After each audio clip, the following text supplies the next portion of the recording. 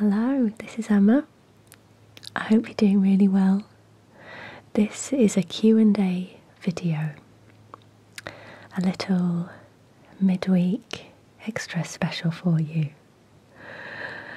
I put out a question on Instagram stories a couple of days ago and lots and lots of questions have come in really really good ones as well. It's the best set of questions i've ever had for a q&a so i'm really looking forward to this one. I have a hot drink to hand. I've got coffee today which is unusual for me and some hand cream as usual and some Tisserand aromatherapy rollerball I have these things lying around often.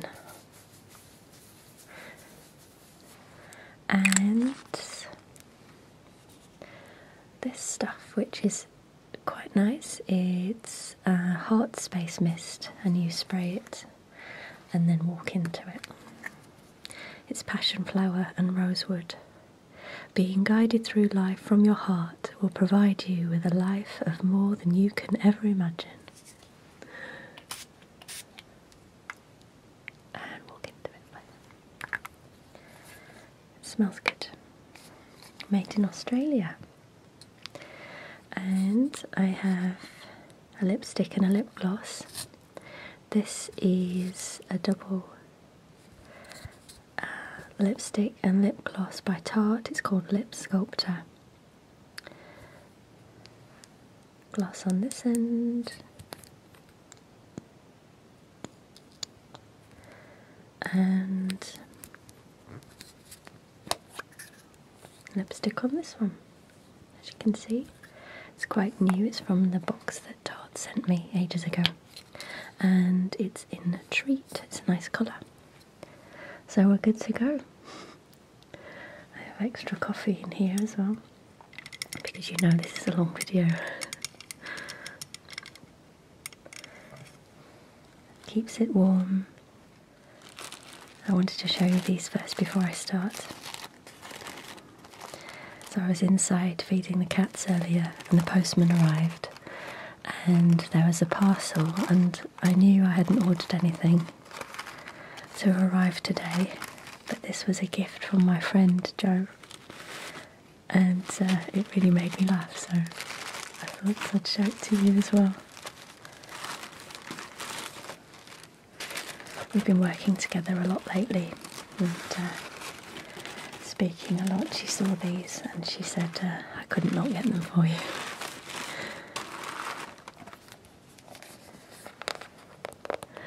The Pocket Book of RuPaul Wisdom.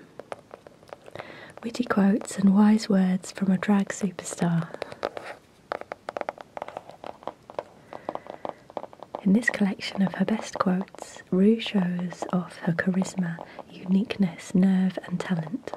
Full of insights into culture, life, and love, this book is perfect for drag race fans and anyone seeking wisdom from the ultimate queer icon. I really, uh, really, really like RuPaul's Drag Race, and I love RuPaul. So, this is a perfect book for me. Quotes on love. If you can't love yourself, how in the hell are you going to love somebody else? Love drag, love queens, love people who dance to their own drum. True.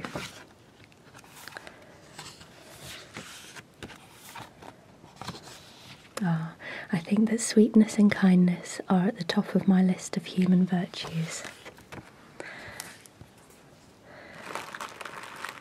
Going to have a really good look through that later. And she wrapped them in tissue paper because she knows.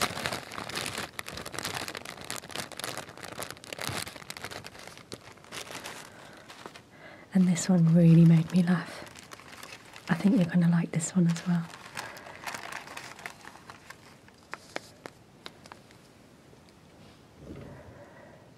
The Joy of Bathing with Bob Ross.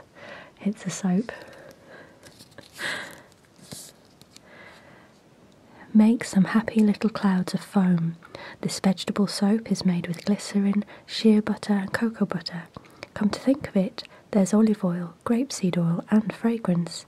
Every day's a good day to be alive with exfoliating oatmeal. It's so important to do something every day that will make you bubbly. The Bob Ross name and Bob Ross images are registered trademarks of Bob Ross Inc. Amazing. Foam, sweet foam. Let's get a little crazy here. The Bob Ross wet on wet technique.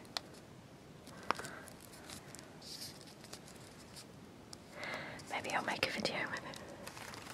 Maybe we can just get foamy with Bob Ross together. Okay, let's get to the questions. There are tons and tons of them. So rather than go into too much de- depth about each one, I'll try and get through as many as I possibly can. That might be quite difficult, but I'll do my best. Um, the first one is Emma, you are so calm and balanced. Do you ever get angry? And that's from Micromundo in Barcelona, who are a really cool company. Uh, furniture and installations and uh, out of ceramics and wood, so check them out. Micromundo, Barcelona. Uh, yes, of course, I'm human and I do get angry. I do not like injustice, and that makes me angry.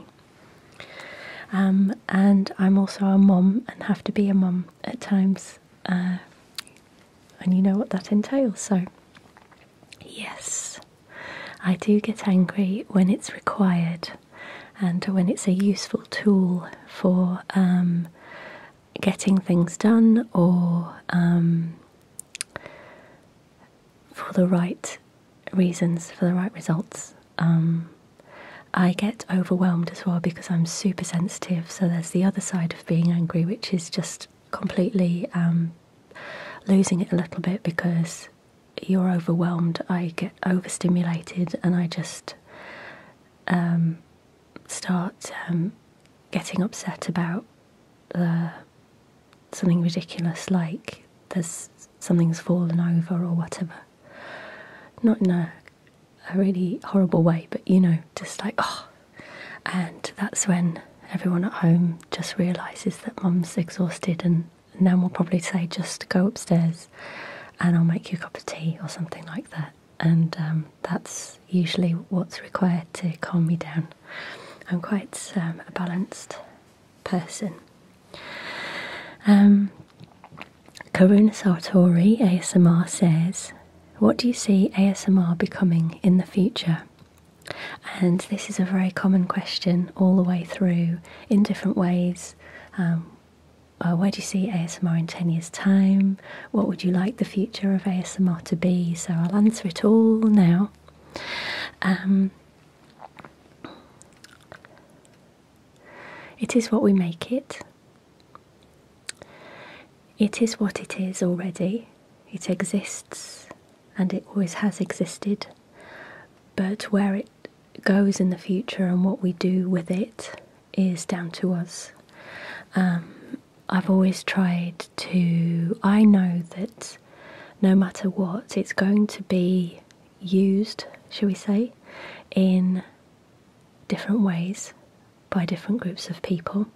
So I've always tried to represent it in um, the purest and um, most authentic way. I know how, and I know that it's going to be famous in some way, shape, or form. So I my aim is always to steer it in a in a wholesome direction and the direction I feel that it should be going in anyway. Um, I'm sure not everybody gets it right all the time, and I'm not saying I'm the one to get it right all the time, but whilst I'm here, I would like to put all my energy into doing the best job that I can. So I've done the live events set those up, and now they're becoming more popular. So I'll let you know what's happening for next year. And that's now a thing. Um, I've been talking about a retreat centre for a long time that's going to take money. So I've taken steps in the meantime to do something that builds up to that, which I'm working on now, and I'll be able to talk about in January, I think. So I'll tell you about that then. Um, I just think it'll always exist online via video form because the videos have become a technique all of their own and a delivery method of ASMR all on their own. And ASMR before the videos always existed in in day to day life, so it's a matter of harnessing that and uh, using it for good to um, help people relax as a therapy, a complementary therapy.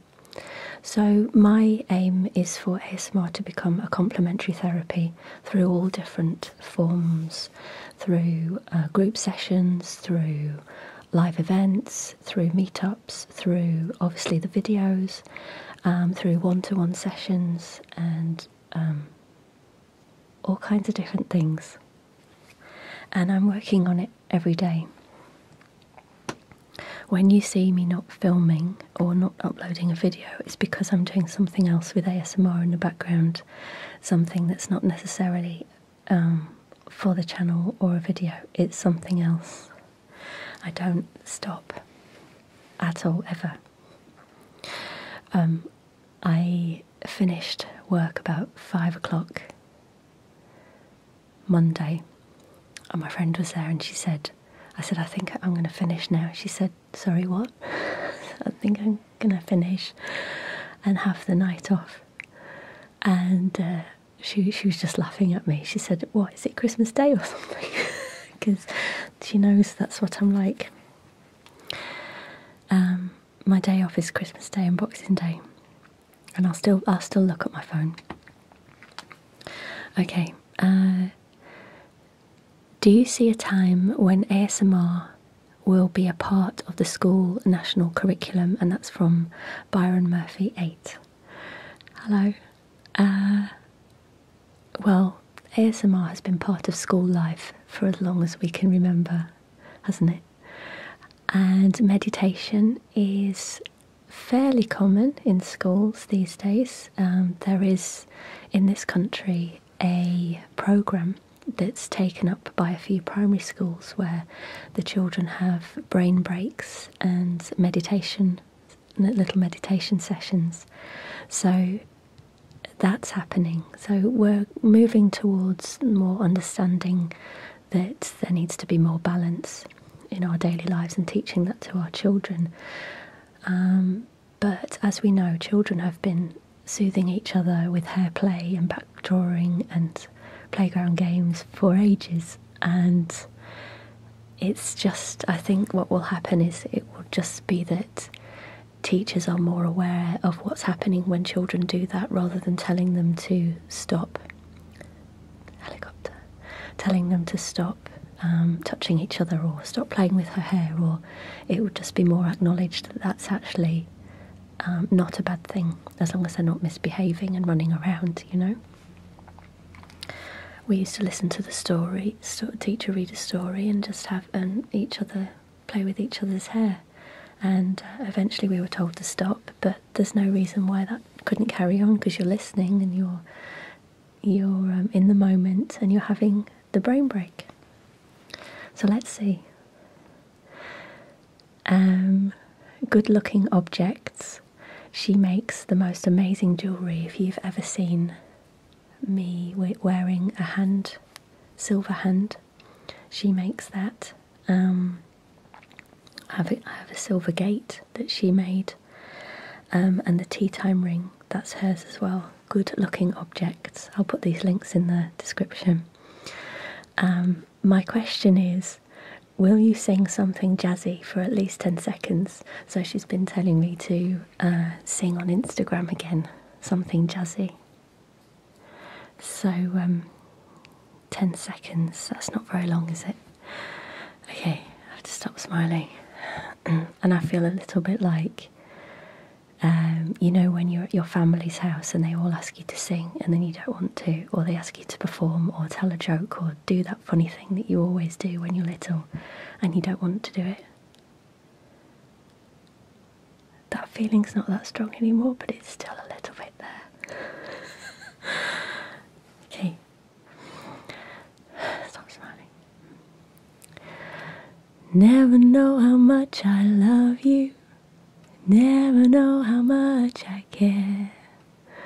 When you put your arms around me, I get a fever that's so hard to bear. You give me fever. I can't sing it properly because I'm smiling too much, but there, that's your jazzy thing for at least 10 seconds. Will there be, Jennifer says, Jennifer who comments all the time, lovely Jennifer. Will there be any upcoming videos on your children's channel and your vlog channel? Um, the children's channel, yes, because I made them for last year. I made a, um, a series of them for the channel, which is allowed now. I don't know if you know about the COPPA um, law that's been coming in that we need to deal with. That channel is now listed as made for children, uh, so it won't ever earn any um, income, but it was never for that anyway. I'll upload more videos to that, and then the main thing is for them to then go on to Spotify. So that's why they're there. And then they go into Spotify. So, yes, there'll be another series. And then the vlog channel, yes. So, this year has been super crazy busy with all kinds of different things, and I've filmed everything that I've done. Um, most of it's to do with recording the album, so I didn't want to put all of that up uh, what, till that's out. Um, and yeah, there will be. I've got lots of footage. I've just been busy doing the book and, and trying to keep videos on the channel and things which I haven't been very successful at. Um, I've done a podcast this year. I've done. Um, I can't remember. It's just been just busy all the time, and oh, loads of uh, interviews and things, and people coming around to film for documentaries and the news and take pictures and it's all stuff in the background that um, people who watch the channel only would never know, so they must think I'm so lazy. um, and Miss Original Whispering Life, ladies and gentlemen, she's here with two questions. If you don't know who Whispering Life is, I wrote about her in, in the book, of course, because she made the first ever whisper video back in 2009.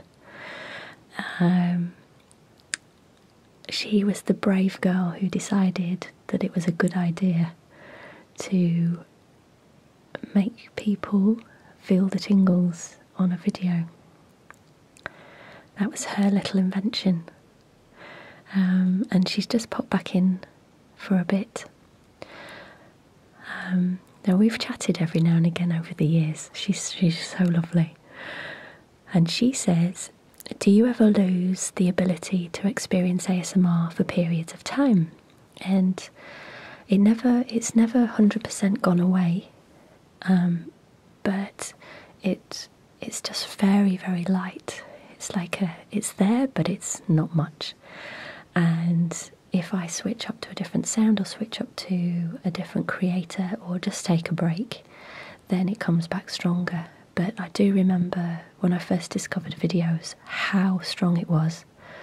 Um, it was crazy strong, and I've never had it all the way through my body that strong ever since from a video.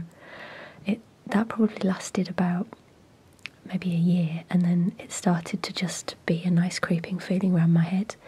But what I've never ever lost, and it's never um, dissipated, if that's the word, is real life in in person tingles. Never, and someone playing with my hair, drawing letters on my back, um, all of those things, all of those triggers, they always give me tingles all the way down to my ankles. It's amazing, all the way down to my feet. Um, so that's quite interesting to me. and then she said, Are you doing another live meetup anytime soon? If so, can I come? of course.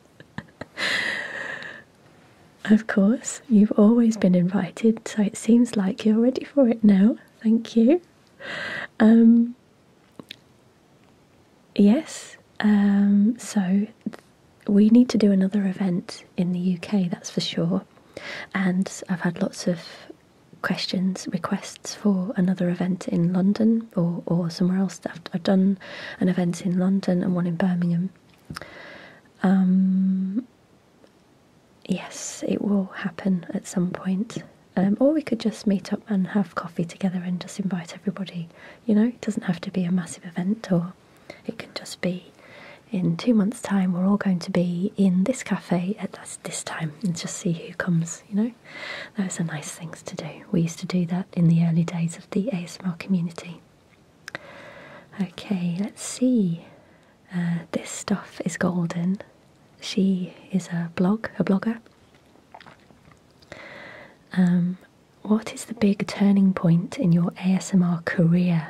Wow, career is a big word. Thank you for saying ASMR is a career. I still don't think of it as a career, but uh, it's nice to think of it that way as well. Um, uh, in my AS turning point in my ASMR life, let's say, um, I think the biggest thing has just been finding the videos in the first place because I don't see what I'm doing as a career or like I'm trying to do anything that's for myself. I'm not really involved in it if that's make if that makes sense. I'm just kind of a um, a vessel for something. Um, that's how I see it. If I I've got a lot of fight in me for ASMR and a lot of ambition, let's say, and drive in me to do new things, but I'm also the sort of person who, if a friend comes to me with a problem, I've got all the answers and I always know where they need to go and what they need to do and how they can improve and, and the answers to how they can have this great, wonderful life that they want. Um, and I can help them with that and I can really fight for them and do what they need as long as it's not too much about me.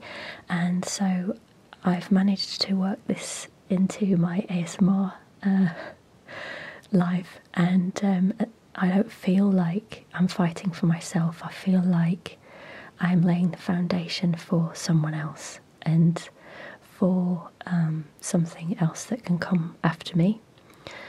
And um, and because ASMR has been so misunderstood for so long, I feel like um, there hasn't always been someone uh, especially this side of the world, to explain it in a way that I would be happy with them explaining it on my behalf.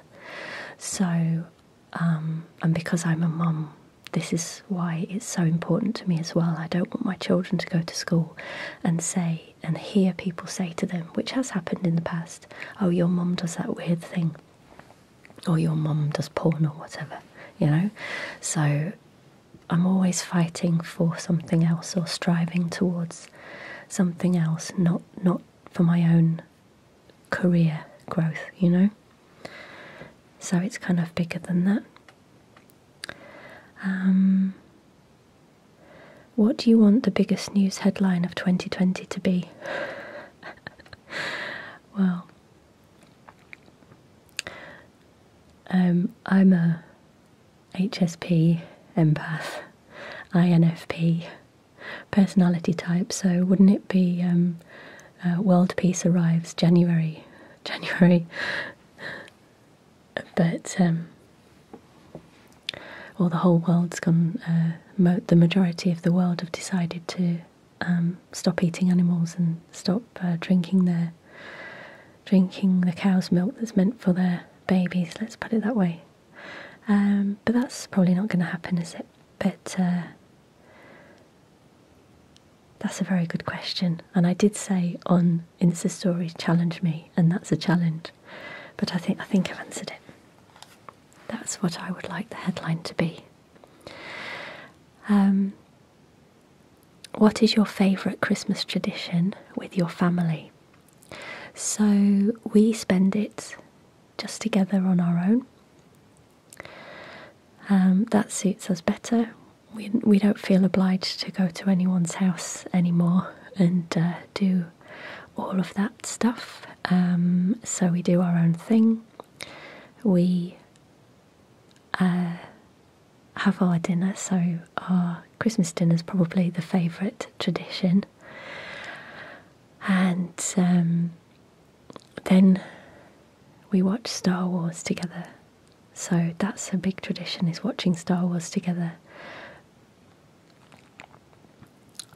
But the most the the biggest thing that we do is just hang out together and that's our family tradition and uh, that's my favourite thing about it is that it's a it's a day where nothing has to be done. No one's waiting for anything. No emails have to be answered. No, uh, no one has to go to school and hand in any homework or anything like that. Uh, phone doesn't even have to be answered. Uh, so our tradition is just to be together and be relaxed, and that's my favourite thing. And that was from uh, Patsy Patsy L. And the 2020 headline was Lana Doll. So thank you very much. Um, from Iragabursky, um, have you have you always been so calm, or have you been so relaxed since ASMR? I've always uh, been told that I'm a calm person and easy to talk to, and um, easy and comfortable to be around, and calming. People have said that to me my whole life. Um, first of all, they said I was quiet. When adults used to say she's very quiet and she's a very good girl. And then when I grew up, I was told that uh, I'm calm and easy to be around.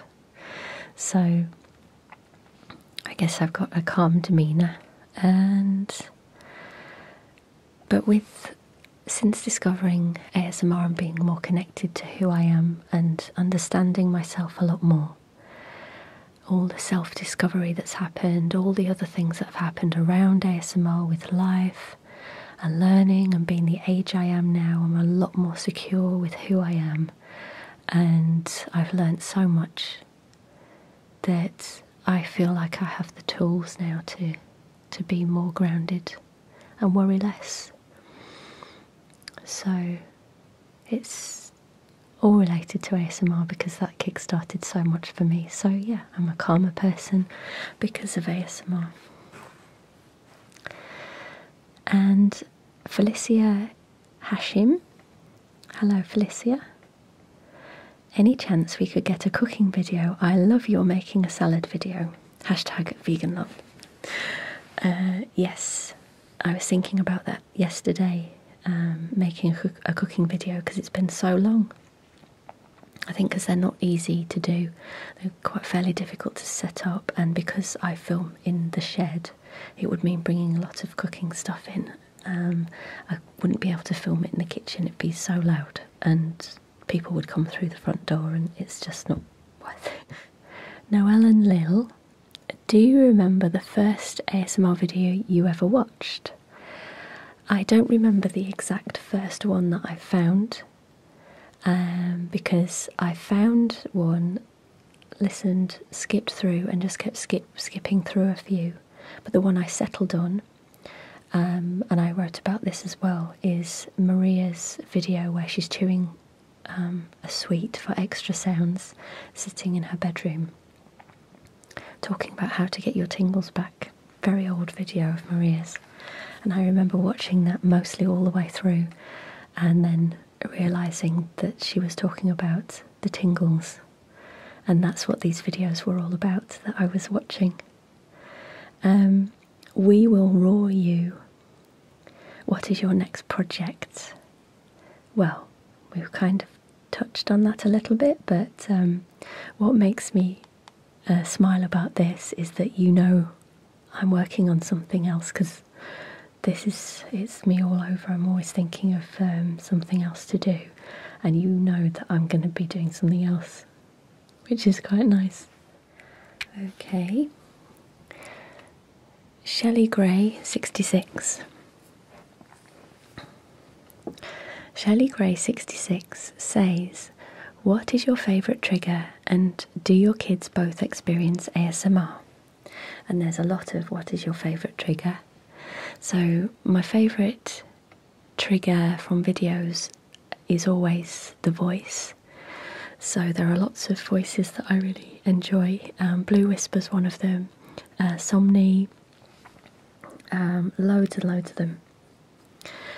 Soft, uh, soft voices, and I really love the sound of dripping water. I like the crinkly gloves and rain and all the nature sounds, all the gentle nature sounds.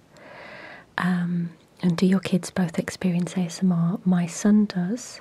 Uh, his name is Bo, and he's the younger one, and the older one, Mia, she doesn't. Anita Darling 1. I'm about to be a first time mom this Christmas and wondered your advice for life with a newborn. I feel like it's so long since I had a newborn.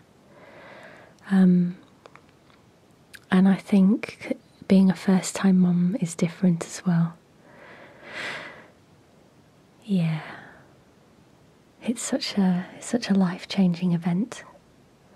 Um, and I think the best advice I could give and the best advice I was given was follow your intuition and your own instincts about your own child because there will always be someone to tell you how you should be doing things.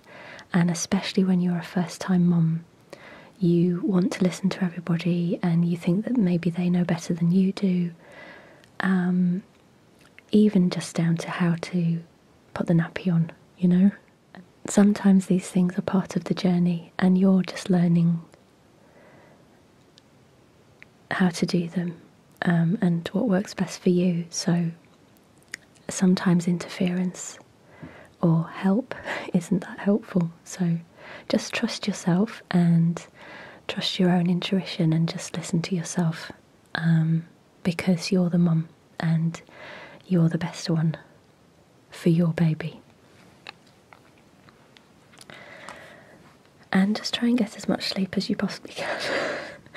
they say to you, they always say, sleep when the baby sleeps. Um, but I could never do that. I tried, I could never sleep in the day. I wasn't sleeping in the night, and I could never sleep in the day because when the baby was asleep, that's when I thought of doing things around the house or, you know, washing or whatever it was. Um, yeah, just try and rest as much as you can. Um, I remember with Bo, I, I uh, was breastfeeding him, and I think from that time, the most thing that I remember is just sitting on the sofa holding him. I just spent so much time on the sofa holding him and feeding him and changing nappies, and it was nice. Um, so, congratulations. the country cat who inspired you to do ASMR. So, it was just everybody, all the content creators I saw um, it was a small community and it was a friendship group, and having a channel was just a way to join that friendship group and to talk about yourself and introduce yourself and connect with people and, and make friends with viewers and that kind of thing. So it was just uh, who inspired me was the community and just uh, wanting to be part of it. Um, Lois, XX Cooper, says, Are you still in contact with the lap dancer you lived with before you met Nam? I haven't thought about her for so long. And um, yeah, I did speak about her in my Draw My Life, didn't I? Bless her. We were good friends for a while. I haven't um, I haven't seen her in years, years and years and years since Mia was little. Um, so when I when I had Mia, I was really young, and the friends that I had were all over London, and they were doing their London thing, as people used to call it then. And um, yeah, I just didn't really have any friends after I had Mia because everybody was going out and doing their own thing, and they were they didn't have children, so it was just me. And um, I remember one friend that I had at the time. Um, he was lovely, and we used to um, we used to work together, and we used to sing, and he was like a real musical theatre buff, and um, he was lovely, and we used to have such a laugh when we worked. And I remember I saw him after I'd had Mia, and he said to me, um, "Oh, you're just really different now. You're really mumsy," and that got me. Oh my gosh, I've never forgotten that. Um, he was probably, you know, right because I did look different. Um, I was exhausted, and I was a mum, and I just completely dropped myself and put myself to one side, and you know, but that's how it was, and that's how it is for most of us. Um, so now I haven't seen her for a long time, but I'm sure she's uh, having a great time. Sure she's um, she's she was always a survivor, so I'm sure she's happy. Um, what is your favourite place on earth? Um, it sounds a bit cheesy, but at home with my family and my animals, that's my favourite place on earth. Prachi Dut 75. Do you ever plan to make videos in other languages? Um, I really, really don't think it's a good idea for me to make any videos in other, any other languages because um, I am horrendous at languages. I did become quite good at French at one time because I kind of ran away to Paris when I was a teenager and I somehow developed my French. At the time, I used to do French at school, and then suddenly, I think once you're once you're thrown into a situation, you just have to adapt. And I did quite well, but to be honest, I've forgotten most of it now. So I think we'll leave that idea. Life of Laura vlogs. Do you still hope to one day open a Tingle retreat? Absolutely. It might be that I've been looking into it obviously for a long time, and there are retreat places for sale in different countries. I've been looking in Portugal. Um, so there are retreats, eco retreats that people give up and sell, um, which would be ideal. I found an ideal one two years ago and I got so excited about it and then realised I would never be able to afford it at the time anyway. Um, but I know that there are some for sale, so I know that it's it's there and it can be done. Um, but then there's the question of people travelling to it. Um, so I think it might be the best idea to start off by travelling around myself, and then um, hopefully one day if I can get some investment and uh, maybe work with another company or something to open one um, that's static for people to travel to, and it's deciding where to hold that as well because um, wherever you decide to hold something like that, there are people who have to travel a long way and there are people who live nearby. So, um, definitely, but I'm just not sure how that's happening yet. But there, somehow over the years, things have a habit of just happening.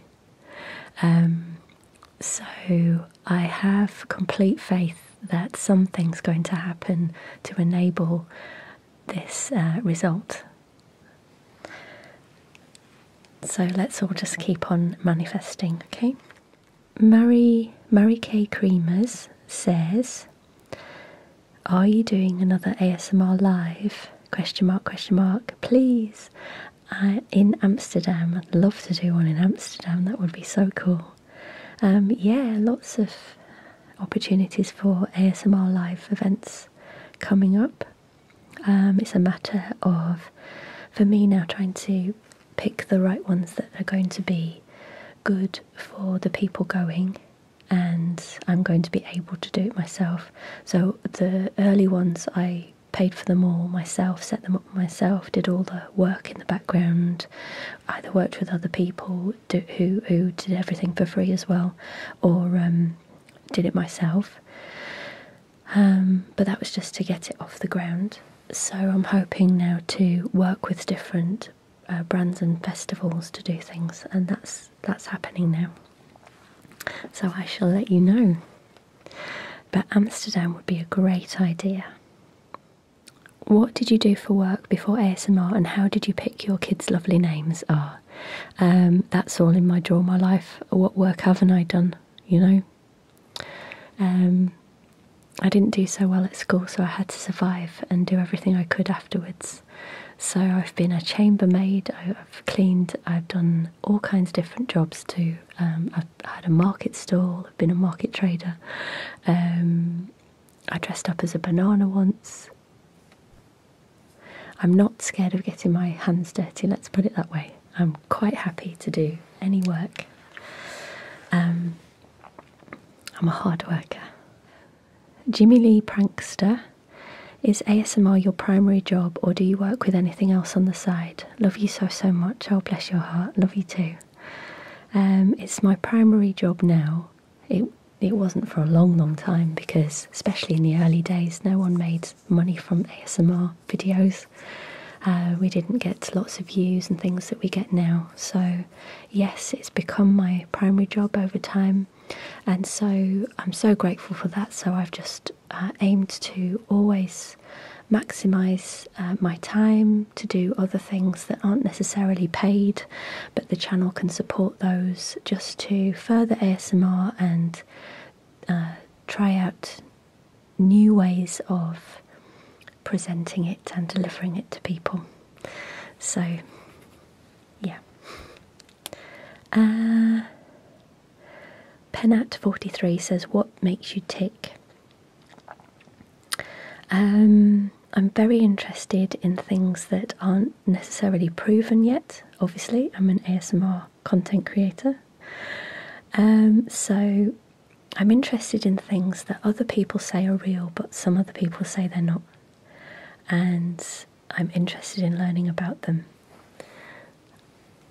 amongst other things. That those are one of the things that make me tick. Um, one of them. And uh, Nicole Alvarez, 106, said, um, Have you ever done ASMR for children on the autism spectrum? So, um, lots of people have given me feedback to say that ASMR videos have been very helpful for their autistic children, um, especially children's videos that are aimed at more sensory things like kinetic sand, um, cars with wheels to see the movement and that kind of thing. Um,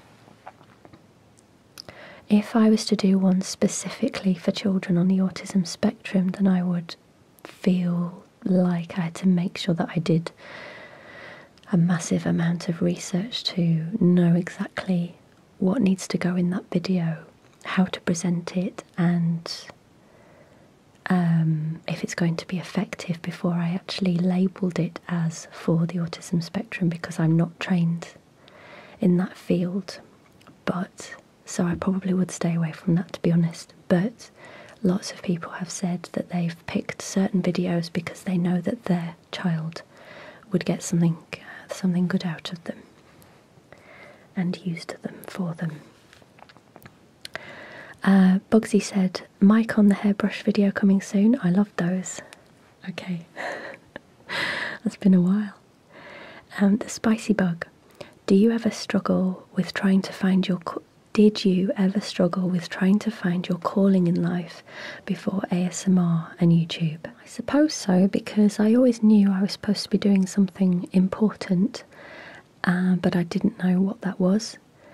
Um, I had this kind of niggling feeling that never really went away that I was supposed to be doing something important, and I and it was really confusing. But then I don't feel that anymore. So that's probably something to do with it.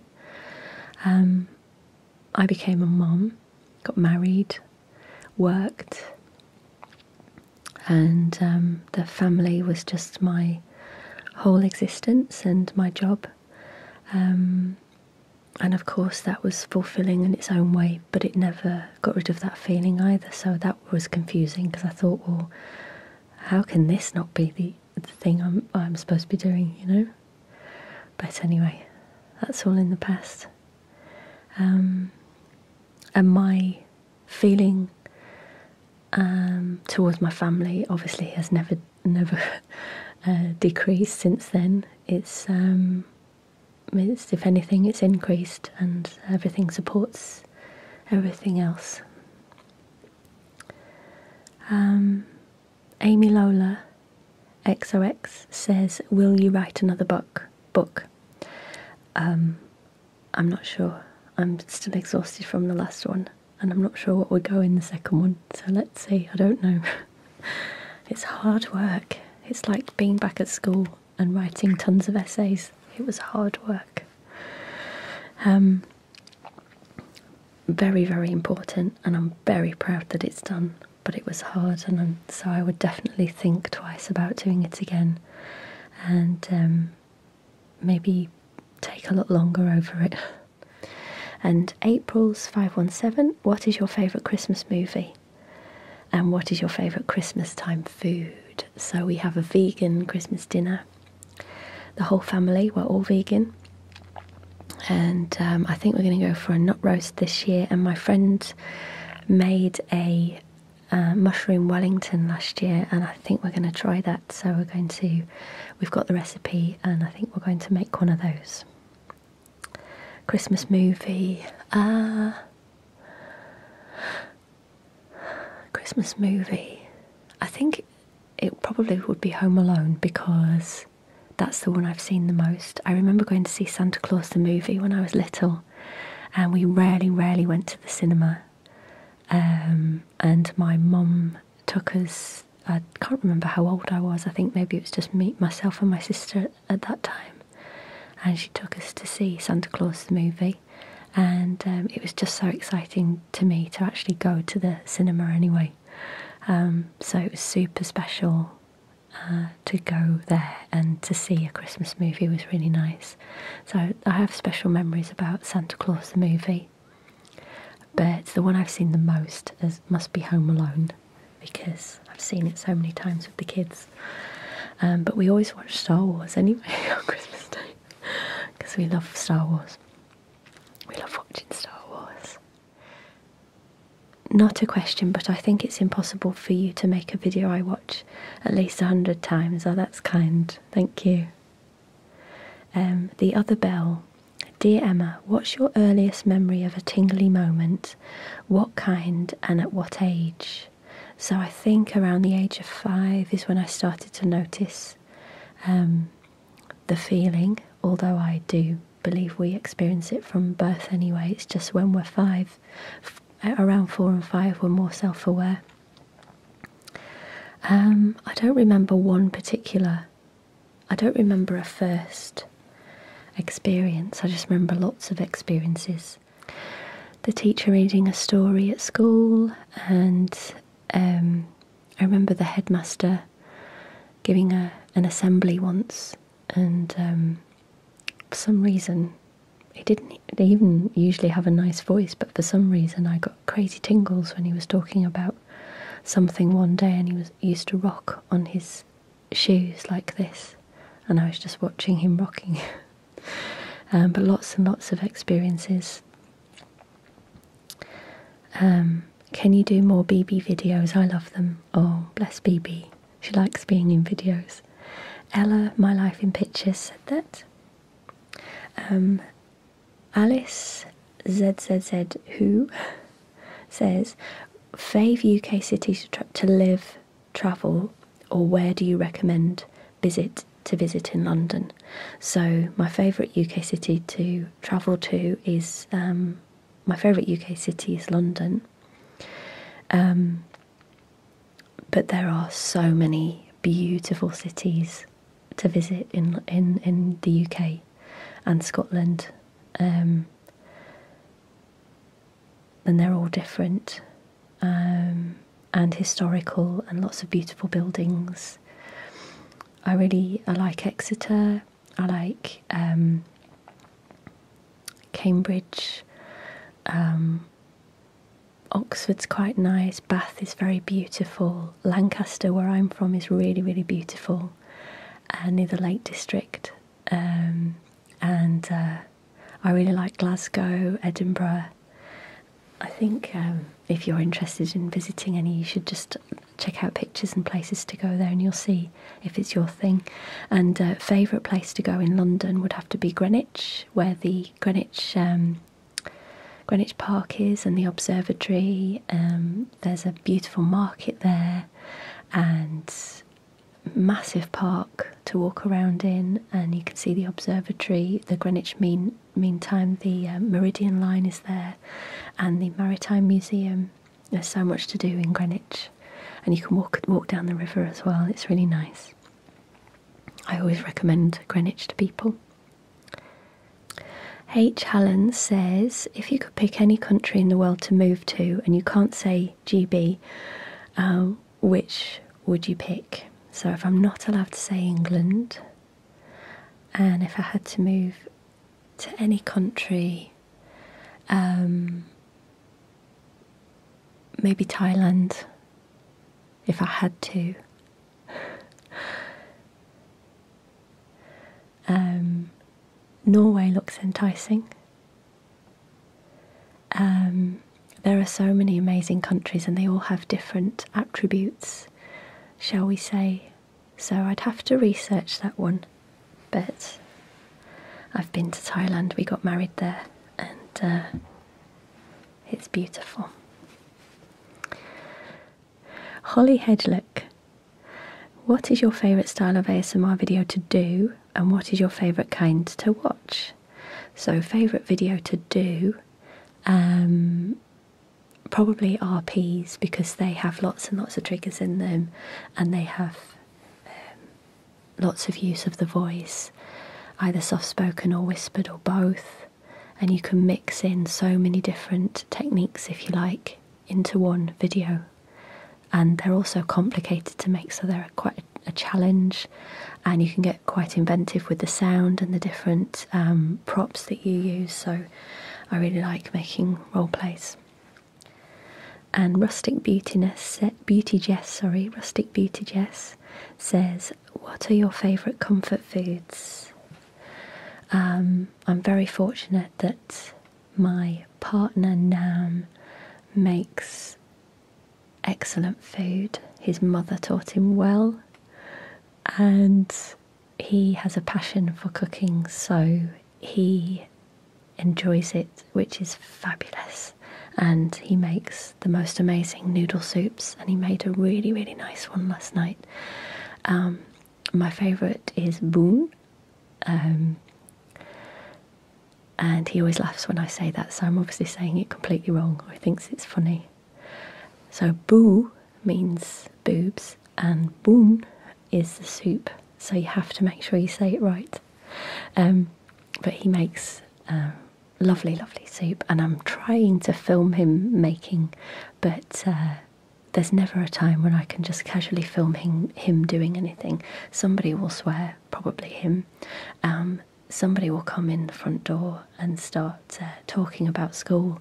Um, one of the cats will have a fight and something will fall down. There's never uh, the perfect time to be doing that. So I did say to him one day, "Can we do can I can we set it up properly and you can show us how to make one of your dishes? And he agreed so however long that will take I don't know but we'll get there. And I'll tell him not to swear. Did you write the beautiful opening song uh, in Dreamkeeper? It was so lovely. That's so kind. Thank you. And that's by uh, June BMW yes I I um I made it up and uh, hummed it for the opening of Dreamkeeper, and it's called Dreamkeeper. Mm-hmm. And do you dream in colour? That's interesting. Uh, sometimes I dream in colour, and sometimes I dream in black and white, but mostly it's colour. Um, I don't know what that means. Maybe I'll look it up now. That's an interesting question. In the Oceans says, What is your top three life hack as an HSP? What are your top three life hacks as, as an HSP? I think um, um, learning to say no and understanding that when you do say no, even if it hurts you to say no, it still might be the right thing because you're empathic. You might be feeling sorry that you've said no because you don't want to hurt the other person, but it doesn't mean that it's wrong. Um, learning boundaries, and which is similar to saying no, um, but just understanding that um, having time on your own is, is important, not just for you, but for everyone else around you as well. So, saying no, um, having time to yourself, rest and recuperation after busy events, that's really important. And the third one would be um, life hack as an HSP. And the third one would be um, just understanding and knowing that everybody's different and they're just people aren't, not everyone is like you. And not everyone is going to behave the way that you would. And I think once you um, accept that and see that in, in situations that you're in, day to day situations, you can understand things better and you can feel less like uh, problems are your fault as well, which is a really important lesson to learn as an HSP, and that things aren't your responsibility always. Where do you get your inspiration ideas from? Everything is a, everything has a sound. Um, Shooter Official says, Hey, I'm Shooter, a rapper in the UK, just showing some love. Nice to meet you. Nice to meet you too and thank you. Um, Evely Neil Ack, would you consider to open an ASMR salon for massage therapies, etc.? I shall let you know. What is your favourite vegan treat? I'm also vegan. Hello, and that was from Erica Ellen Allen. Favourite vegan treat? I really love Vego bars and the little Vego um, chocolates that are wrapped up individually are the vegan treat. I love vegan ice cream. Um, vegan treat. I just love, probably the, the ultimate vegan treat is to go out for dinner to a purely vegan restaurant and they have they have um, an extensive menu um, and nice puddings. That would be a vegan treat. What is your favourite sound made by Mother Nature? That would be rain and wind through the trees. If you couldn't do ASMR, what would your career path look like? I have no idea. I'd be doing something um, to raise money for my family because that's what I would have to do. Who knows? If I could choose a career other than ASMR, I probably would have trained in something. Um, once the kids were older, around this time, I would be training in something else. It would be something along the lines of uh, learning aromatherapy, massage, um, and some kind of healing therapies which I've um, done sound healing as well, so it would be something along those lines. Um, do you have any words or advice, etc., for someone wanting to start a channel? And that's from Buddy Belly. Hello. Um, and the other question was from Chelsea J. Hello. Um, someone wanting to start a channel, my first advice would be don't go into it because you want to be famous and don't go into it because you want to make money. Because, from my point of view, those things would get in the way of you producing good videos. or authentic videos, shall we say. So it would have to be because you love ASMR and you feel like um, you would like to be involved and uh, be in the community and, and that kind of thing.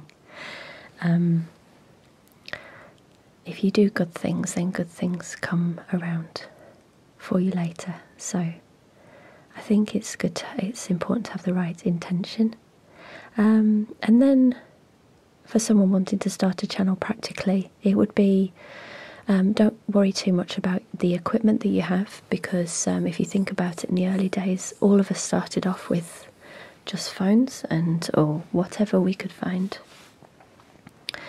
Um, just concentrate on trying to provide the best kind of videos that are along the lines of something you enjoy watching so that you can basically create what you would like to watch.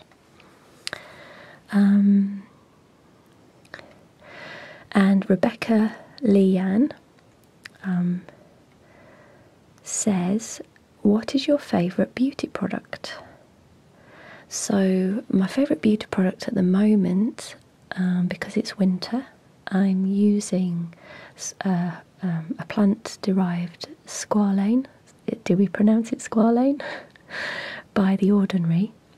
Uh, with the fire on sometimes and the central heating, I get dry skin and um, I've had it all over the summer but not really used it very much because I didn't feel like it, it was um, needed. But um, since it's been cold, I've been using it every day and um, my um, skin's really soft, it's shiny, and I feel like it's nourished. So I'll continue to use that through the winter. I really like using rosehip oil as well, that's really good. Um, but I, I love the ordinary products, they're fantastic. Um, and then Izzy H. DeSantis, hello, said, What's your favourite ASMR trigger? Which we've had. Grace News Cabell said, I love your voice. I could listen to you chat for days, so make it a long one. it is a long one, and I'm not really doing a ASMR voice either because um, I'm talking super fast and much louder than normal, and um, uh, there are so many questions to get through that um, if I did it in my ASMR style, then well, I wouldn't get through the questions, would I? It would be hours and hours long. Um, KS and Witch 8 says, and this is an interesting question what is the biggest obstacle you've had to overcome as an ASM artist? Um, there are surprisingly uh, lots of obstacles. I guess I could talk about this kind of thing all day long, but I won't. Um, and I think the obstacles are different for different people as well because we all handle things in different ways. Um, and I've been doing, I feel like I've been doing this for forever now. It's such a long time. Um, probably one of the biggest obstacles, though it has been a really interesting learning curve, and I'm and I wouldn't change it still, is um,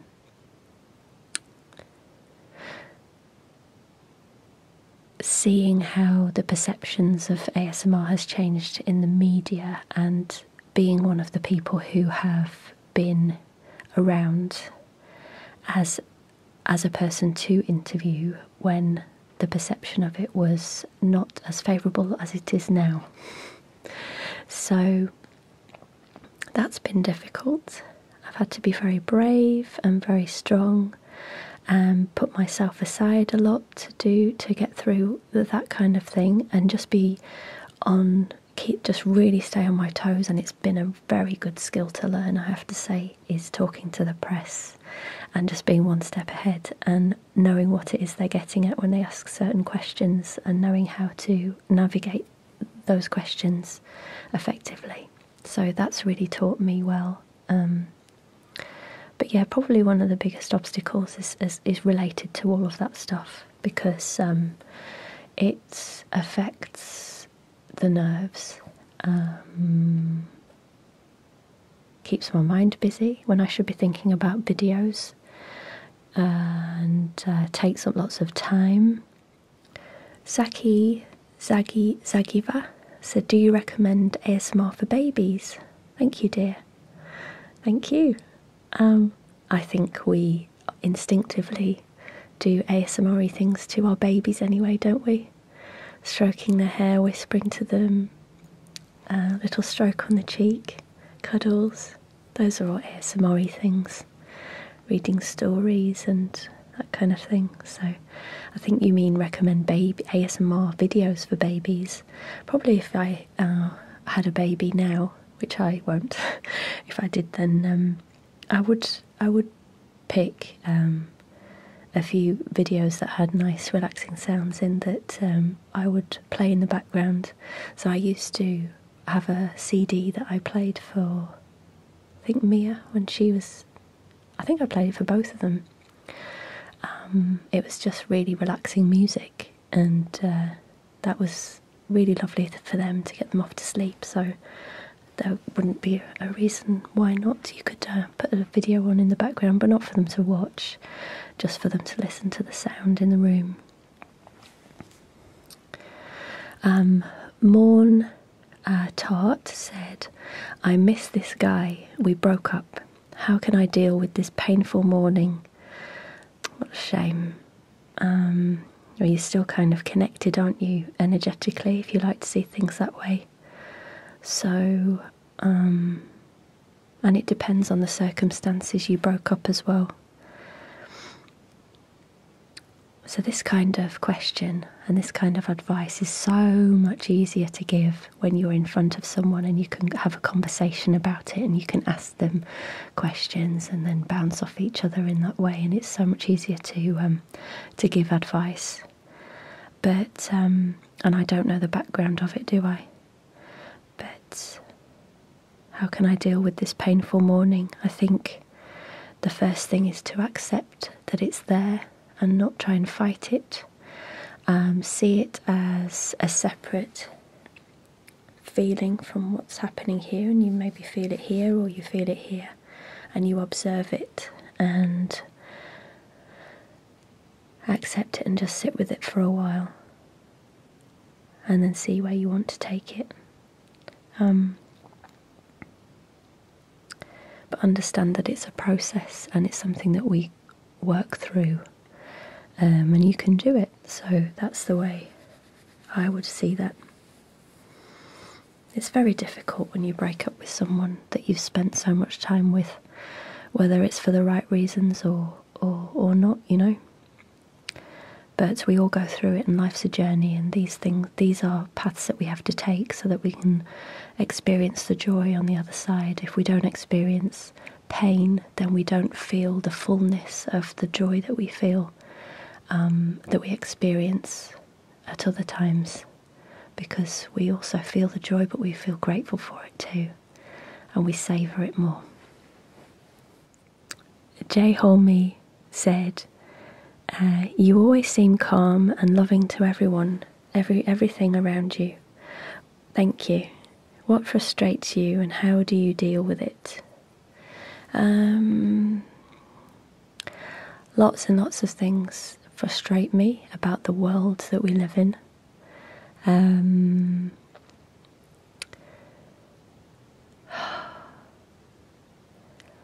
pain, unnecessary pain to others frustrates me. To um, to not just people but um, animals, children and animals, and injustice, lies power over others, greed, all those things frustrate me.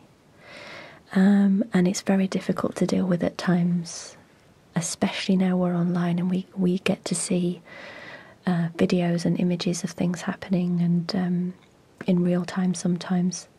And it's very difficult to cope with because we want to make it stop, and in that moment, we can't always do that. So I have hope for the future, and um, that gets me through. And I, what also gets me through is that um, I take steps to do things that I feel I can do to help, and uh, and and I know that um, if we all do something, then it ultimately equates to a big thing. So I understand that my small things actually do something quite big in the end. My one of my favourite sayings is, um, "No one can do everything, but everyone can do something." So if we all do something, we're getting there, aren't we?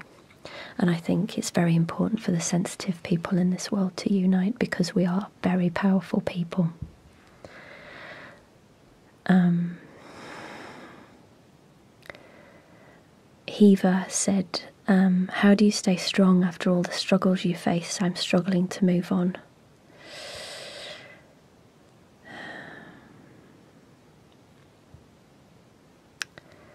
Um, it's not easy. Um, but unless you turn everything to a positive, every negative thing, as much as you possibly can, if you turn it to a positive, then it's not for nothing, is it? So that's the way I manage to um, move on through hard times, and I kind of feel empowered that I've been able to to get through. So it, I feel empowered that it's made me stronger. Um, and I always tell myself that it's that it's um, for a reason, and I'm here to learn, and it's a learning process. And whatever's going on, I'm learning something from it. So I have to.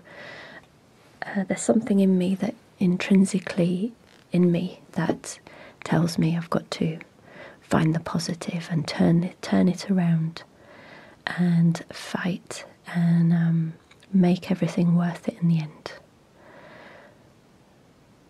But it's it's it's hard, isn't it?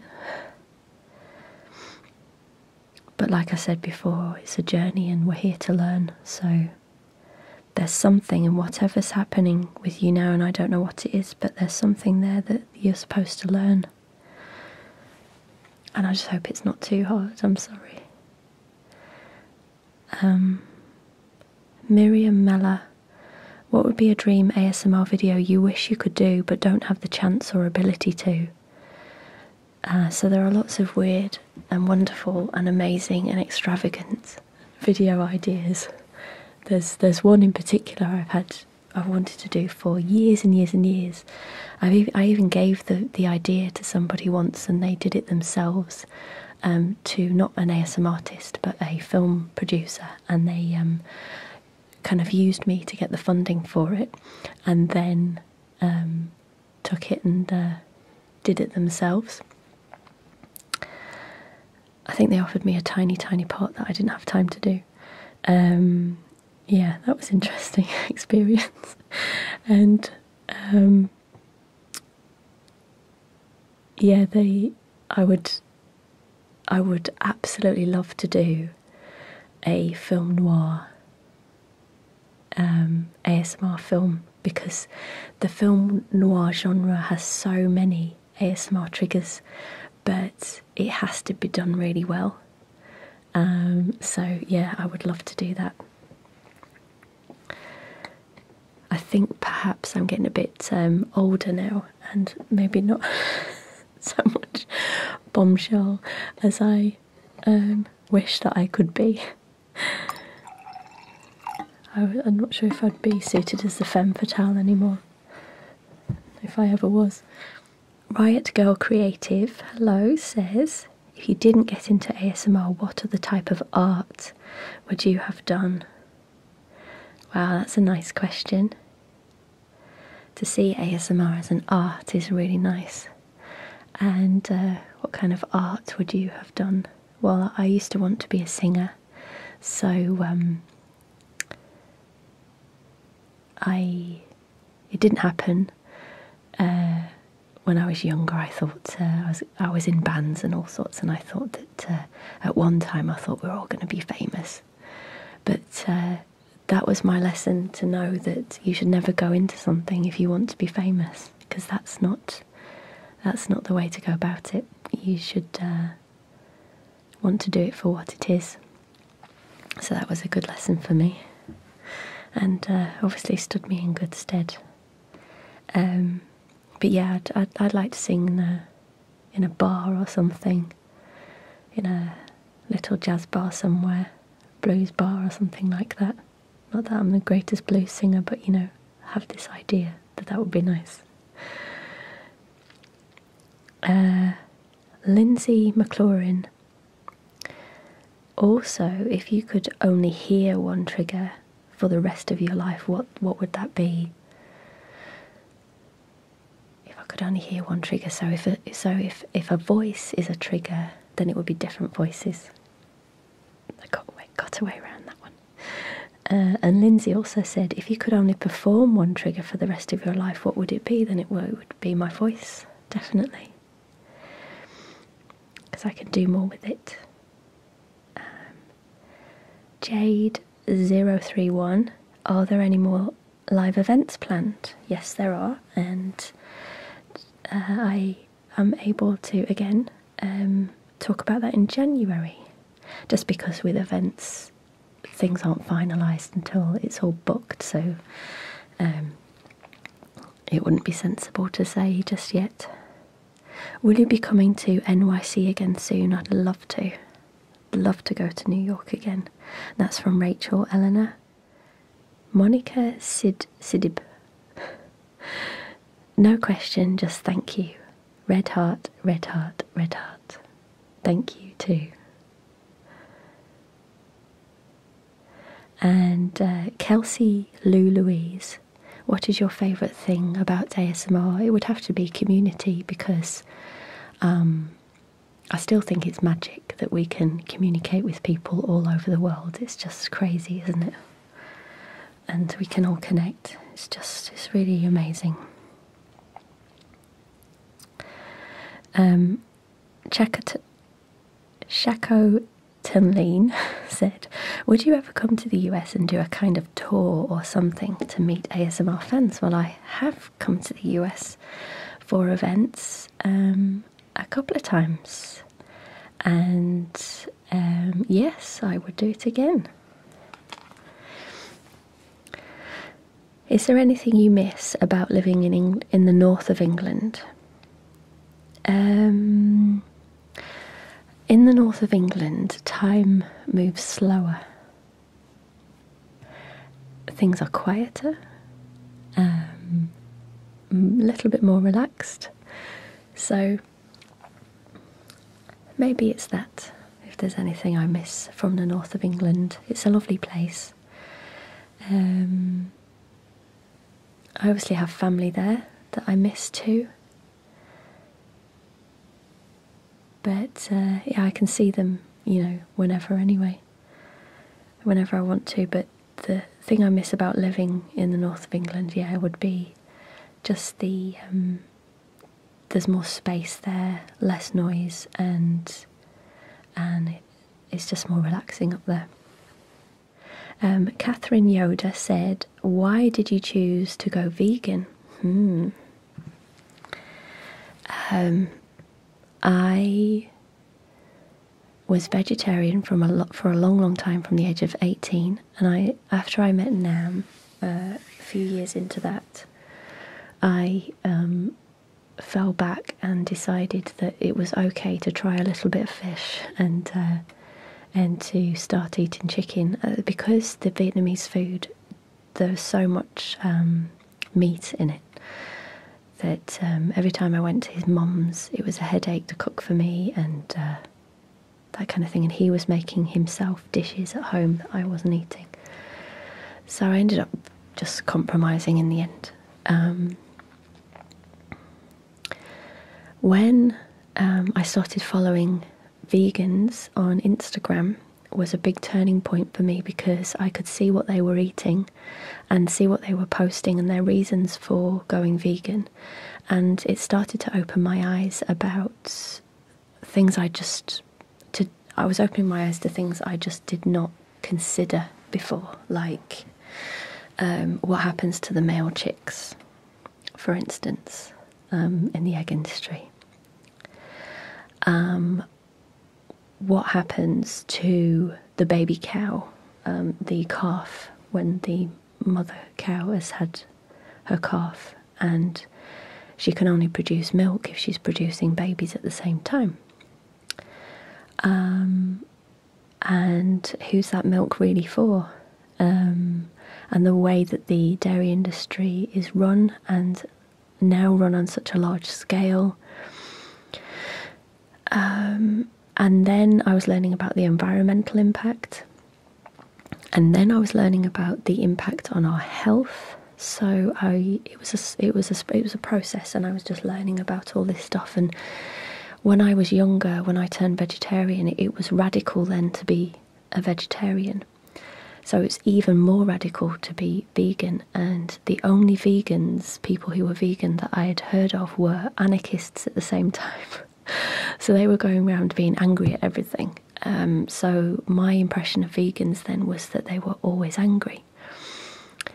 Um, but I was seeing a completely different aspect on these Instagram posts and from these activists I was following, um, and chefs, um, and just general vegan lifestyle people. Um, and it really opened my eyes, and I couldn't believe the food that we, you can eat now. It's so, so different from how it used to be.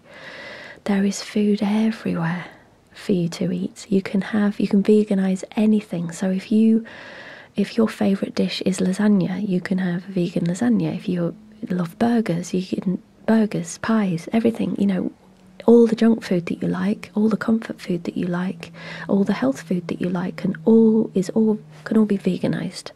And of course, the super healthy food is an addition because that's um, very healthy vegan food. Um, and just going in the supermarket, even creme fraiche, you know, and uh, creams and milks and it's just you don't have to you don't have to cause suffering anymore. You don't have to. Um, and vegan and a vegan lifestyle is about causing as little suffering as you possibly can. So um, of course I know that um, there's still suffering attached to vegetables because um, a lot of people say that uh, oh you, you are not really vegan because uh, insects are dying and uh, field mice are dying from the fields that they grow the vegetables in so it's important to know that veganism is about causing as little damage as you can. And um,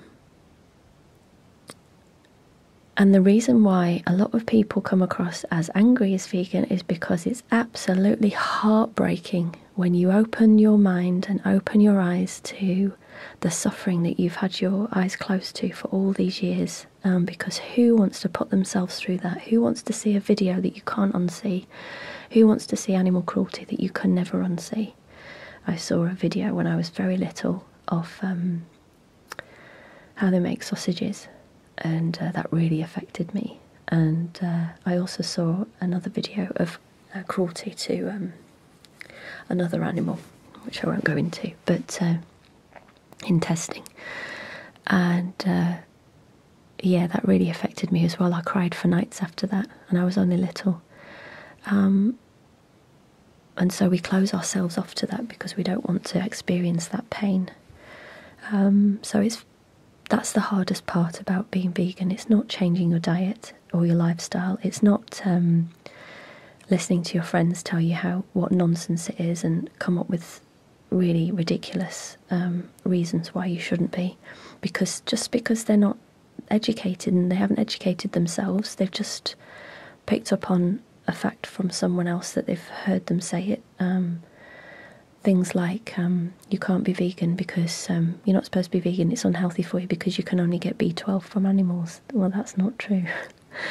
um, I won't go into it, but you, you know, once you research and you find out the truth, and I don't see that anyone can not be vegan once they've learned the truth, but I totally understand how painful it is to find out.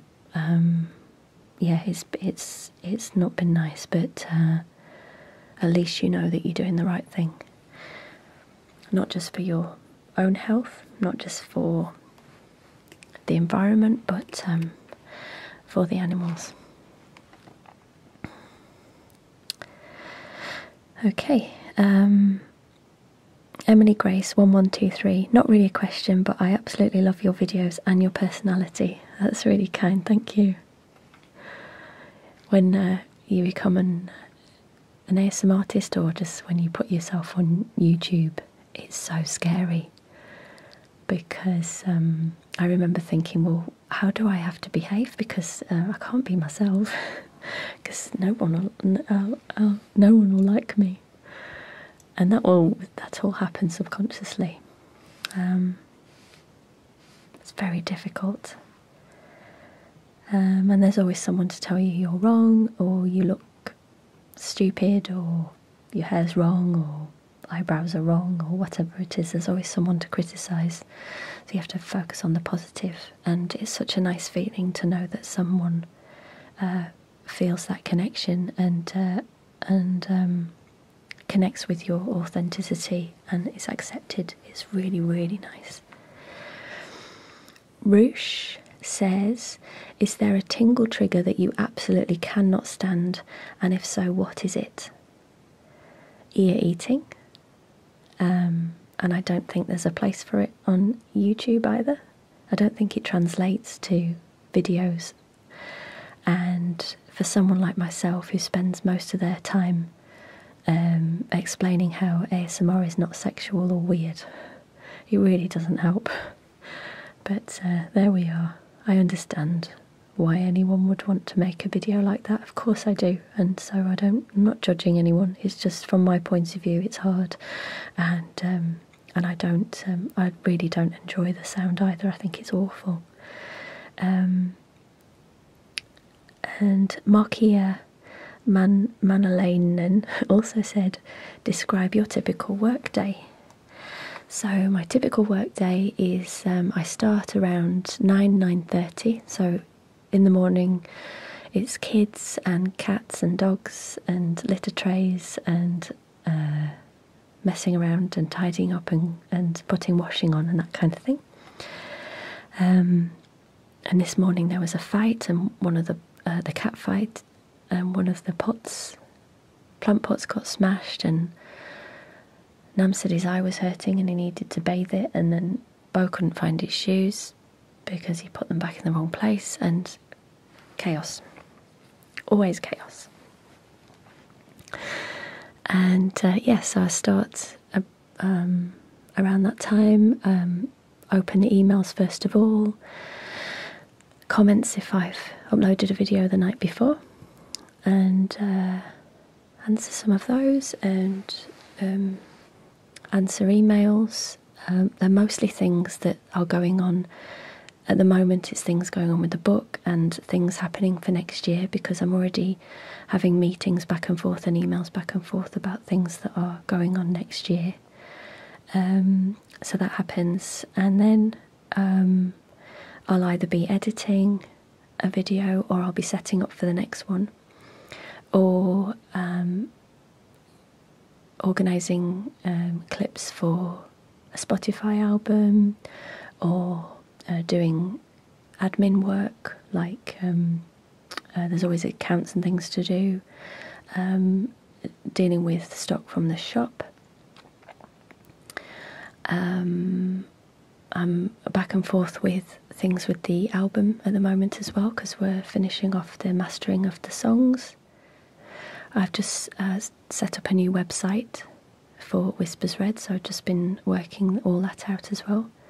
Um, there's so much to do, and there's so much to do in the background, and there's always something else that could be done. So, um, yeah, it's busy, and I generally don't finish till my usual working day goes on till about half past ten.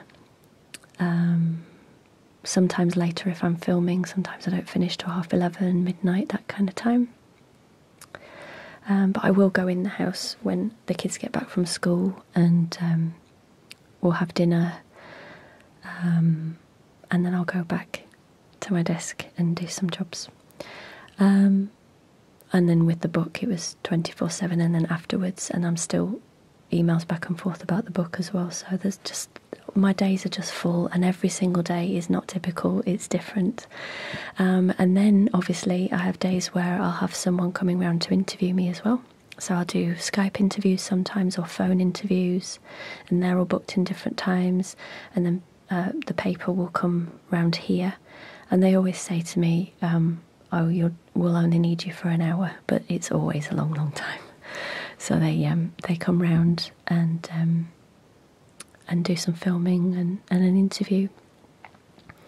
Yeah, so it's always different. There's always something going on. Okay, just a couple of pages of questions left. So um, I'm going to find the ones that um, I haven't answered before. How do you de stress by Instamama68 ASMR videos? Of course. And A. Katerina says, What did you and your husband look like when you when you guys first met? So I'd just been to a Halloween party and I think I think it was, but I had a black long dress on with tassels and those do you remember those buffalo boots that the Spice Girls used to wear? They were by the company called Buffalo and they had a shop in Covent Garden in London. I had black ones and they made me taller um, because at the time I was doing promotional work for different companies where you go around handing out free stuff and that kind of thing and work at exhibitions and that sort of thing. And uh, I, I only wanted to be taller because all the girls who were doing that were taller than me. I'm five foot four, you see, so I added a couple of inches on so I was wearing those, and he was wearing, I think he had his um, coat on with the furry collar at the time, and um, jeans and a shirt. Um, and he looked very swish, he was very handsome. Um, and I had red lipstick on, but it was a little bit smeared because it was the end of the night.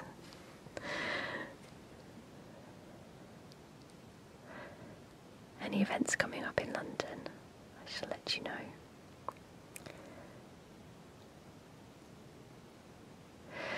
Um, Celise, Elizabeth, 13, hello.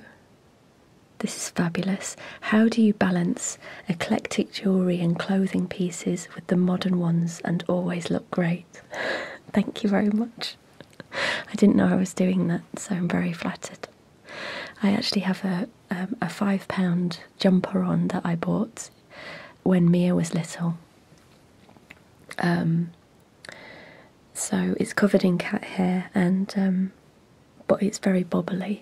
I've got jeans on with a hole in and um, black Converse. I don't know if I can with socks over because it's cold. so I'm just living in um, in whatever clothes I find lately. And I haven't bought clothes for a long time and I wear the same things over and over again. So that's a very kind compliment. Thank you very much. um, any tips for going vegan? Yes. Um, any tips for going vegan? So I talked about how I went vegan, but tips for going vegan. In the first week, I was quite hungry because I wasn't eating enough.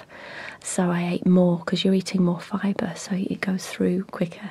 Um, so more food and um, just go slowly. Um, don't think it's going to be hard because it will be easier than if if you just take it one step at a time. When you go to the shops, just go slowly and you'll start to see things that you'd never noticed before. There's a lot in there, but you didn't really look at it before because you were going for the same things every time. So take your time, look at lots of different recipes, follow people on Instagram like I did, and just be um, safe in the knowledge that all the food is there for you. Go and have fun times and go out to um, different places to eat if you can afford to, um, just whenever you can.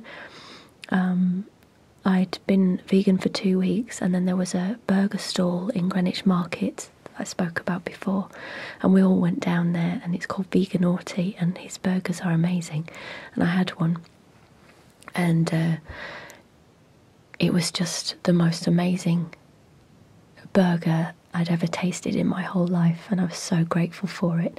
And I tasted all of those flavors, and I was so um, into the food because I was happy about where it came from, and it your taste buds just come alive. You start to taste the food in ways you didn't taste it before. Um, as soon as I got rid of the dairy, honestly, my life changed so much. I was uh, I've since had allergy testing, and I was definitely allergic to it. Although I'm not having it anymore, anyway and just try all the different milks. Don't be disheartened if you come across one that you don't like. Try a different one because all the brands have different flavours. So if you buy an oat milk in one brand and you don't like that, that doesn't mean you don't like oat milk. It just means you don't like that brand of oat milk. And there are different ones you can try. Um, so try and avoid not spending too much because it's easy to try everything all at once and spend a fortune. Perhaps you could try things at people's other people's places or when you go out, you can try which milk they try they use and that kind of thing and speak to friends. Go onto um, groups online and chat to them and, and find out um, their favorites and you'll you'll work out your own routine in the end. You'll get there. And it's exciting. It's a really cool change and you feel great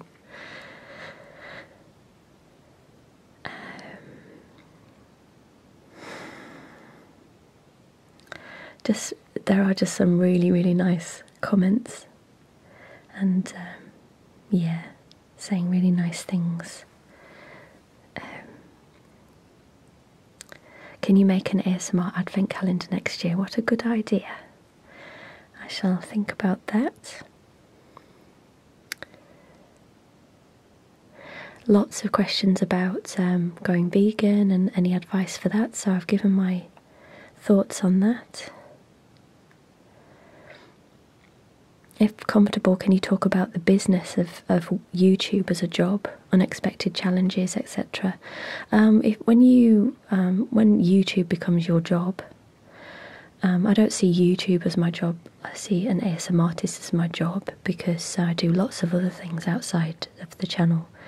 Um, but you are beholden to um, an algorithm, and so it's kind of up to YouTube how well you do sometimes. Um, and when you see a channel that doesn't have as many subscribers as another, it doesn't mean that they're not as talented or as good. It probably means they're just not playing the game the same, and um, or or they've just been really lucky with the algorithm, or they've tagged onto someone else's channel, or that kind of thing. It's just a game. It's so, yeah.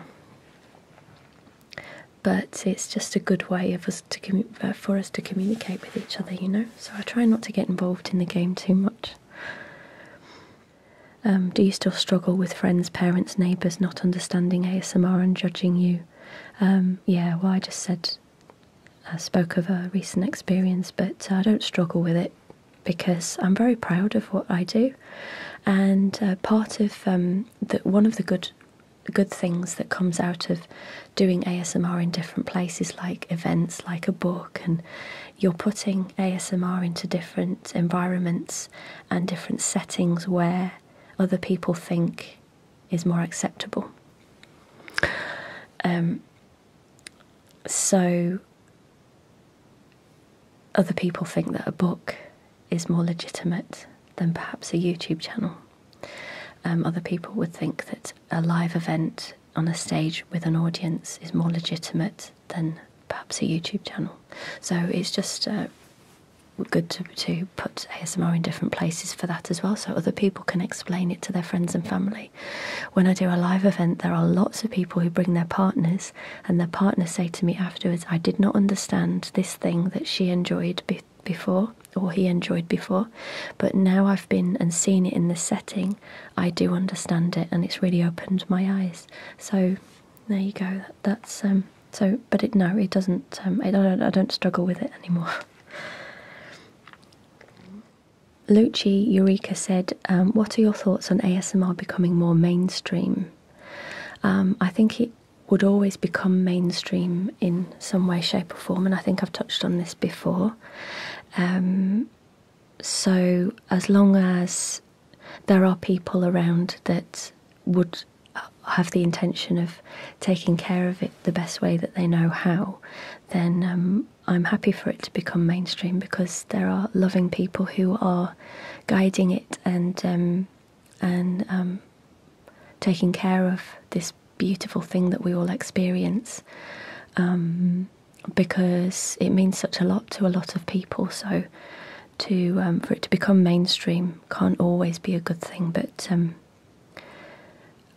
it would also be very selfish to share, to not share this wonderful thing and not to tell people and awaken people to the to the existence of their tingles and connection with themselves. So it's way more than just the feeling and the videos and the name and the tingles. It's about self realization, and we're passing this on to other people, and they're experiencing self realization too, and then passing it on to. So it's it's playing its part in in a, a general awakening of humanity as well. I'd go as far as to say that. Um, okay, so I've just read them, and most of them are things I've said before, so I won't uh, go through them all. Um, but the last one, and it's really nice, is Flora Ray Bold. Hello, and she said, What's a song that reminds you of Nam? Um, so there's one song that um, I play that reminds me of him, and it's called uh, uh, Getting to Know You by, or Getting to Know You by Parliament. I love that song, that made, reminds me of him.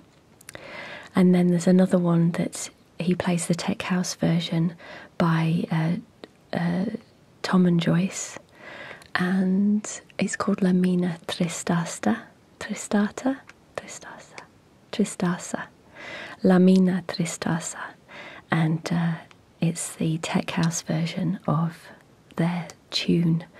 Um, and he used to play that all the time when we first got together on his uh, vinyl decks. So I really, really love that one. Uh, yeah, so those are the two main ones that remind me of him. So thank you so much. This is such a long video, and I'm so sorry if any of the questions were repetitive or boring. Um, but thank you for joining me on this video. And um, I'm now going to go and edit it, edited it, edit it, and listen to myself all over again, and um, chop out any tummy noises and um, and gaps in between questions. I hope you will, and I will see you at the next video. Lots and lots of love, and thank you so much for really interesting questions. There were tons of them. Next time, I think I'll just put one post up so that I don't upset anyone by not reading out their question. I'm sorry if I missed out yours. I tried to um, just keep to the ones that were asked just once. But all my love and take care, and I'll see you soon.